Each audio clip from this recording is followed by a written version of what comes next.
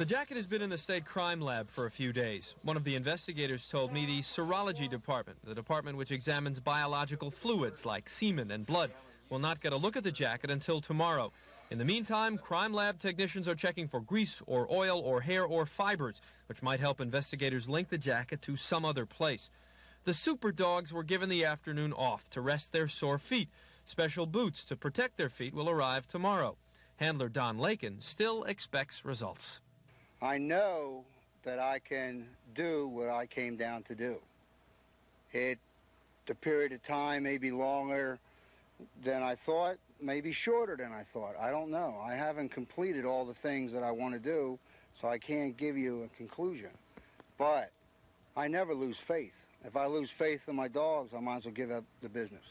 Lakin discussed his search strategy with his contacts in Atlanta this afternoon while the dogs rested but they were the only ones that rested. The five so-called super cops have been kept from public view during their week in Atlanta, true to the promise of Public Safety Commissioner Lee Brown. But we got lucky today and ran into them at a downtown hotel. The five super cops had just emerged from a meeting in the hotel, all but two of them scattered at the sight of the camera. But Detroit investigator Gil Hill and New York detective Charlie Nanton stopped.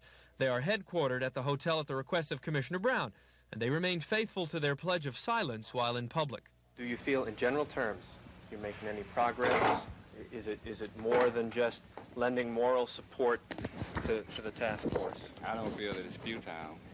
You feel like maybe you're making some headway? I don't feel that our visit is futile. That's, that's all I can say.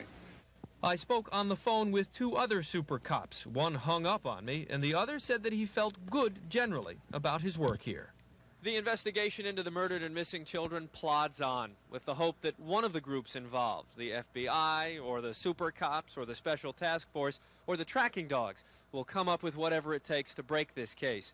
Both dog handler Don Lakin and Detroit super cop Gil Hill say that their efforts have not been and will not be in vain.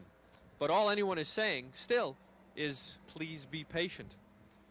From the Special Task Force headquarters, Marc Pickard, Action News.